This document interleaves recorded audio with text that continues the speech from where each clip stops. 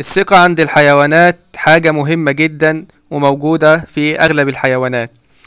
وطبيعة الحيوانات البرية إنها بتكون عندها ثقة لأنها بتكون صعبة شوية. ولكن الثقة دي ممكن توصل لحد الغرور لأن الحيوانات ممكن تدخل في مواجهات متأكدة إنهم هيفوزوا فيها. فبعض الحيوانات بتدخل في مواجهات مع حيوانات متأكدة إنها هتفوز عليها ولكن أحيانا بيحصل العكس.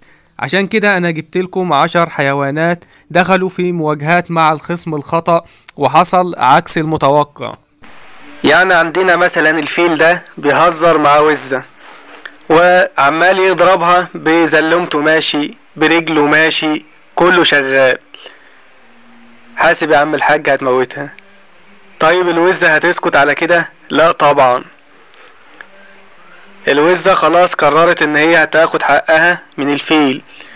شوف بقى الأسد ده حصل له إيه لما حاول إن هو يهجم على قطيع الجاموس لوحده.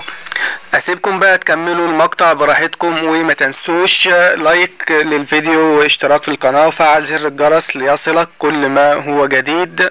والسلام عليكم ورحمة الله.